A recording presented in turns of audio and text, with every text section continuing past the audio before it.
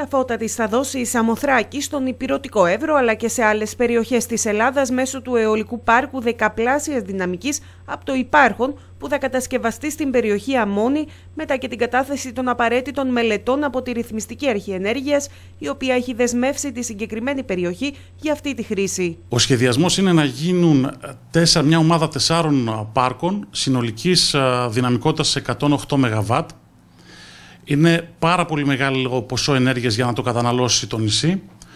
Ε, οπότε προβλέπεται και η κατασκευή ενός δικτύου, ενός αγωγού που θα μεταφέρει αυτή την ηλεκτρική ενέργεια που θα παράγεται στο νησί, στον υπηρετικό Εύρο και εκεί στο εθνικό δίκτυο για να μεταφέρεται σε όλη την Ελλάδα.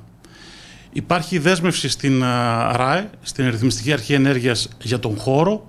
Έχει γίνει πράξη χαρακτηρισμού στην υπηρεσία μας για να χαρακτηριστεί η έκταση και να δοθεί η έγκριση επέμβασης από εμάς για να υλοποιηθεί το έργο.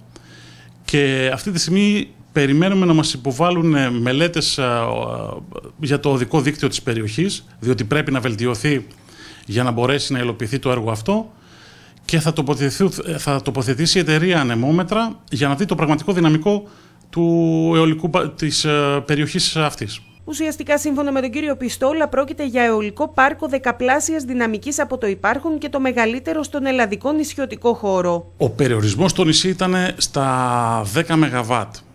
Όταν γίνεται ένα έργο δεκαπλάσιο, στα 108 ΜΒ, καταλαβαίνουμε ότι δεν γίνεται για να το καταναλώσει, να καταναλωθεί όλη αυτή η ενέργεια στο νησί.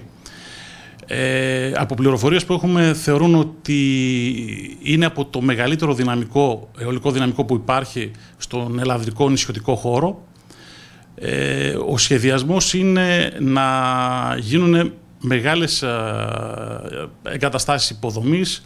Όπως προείπα θα βελτιωθεί το οδικό δίκτυο για να μπορέσουν να μεταφερθούν όλα τα υλικά ε, στο χώρο αυτό, ο οποίος είναι από υψόμετρο 1.100 μέχρι 1.400 μέτρων.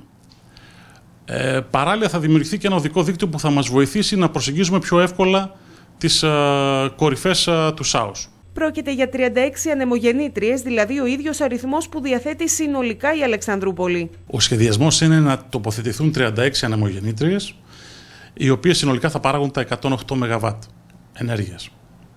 Παράλληλα, στο χώρο υπάρχει και ένας προηγούμενος σχεδιασμός να τοποθετηθούν και άλλες τρεις ανεμογεννήτριες από μια άλλη εταιρεία, η οποία όμως θα έχουν μικρότερη δυναμικότητα, στα, η οποία είναι στα 2,6 ΜΒ.